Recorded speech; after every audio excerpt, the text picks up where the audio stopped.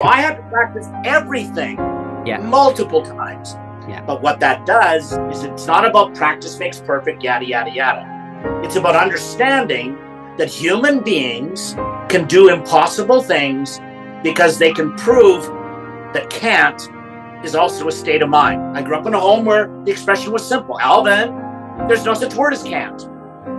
It was making my bed every day, cleaning my room once a week, vacuuming the carpet in our home, shoveling snow in Canada with my chest, taking out the trash or the garbage in my teeth. I mean, I remember the first time my mom said, Alvin, it's time you start doing the dishes. And I'm like, how am I supposed to do that? Mom always had the same answer. I don't know. You're the one without arms. You figure it out. Mm. There were people that wondered if my parents were being cruel. And I don't mean abusive, I mean cruel.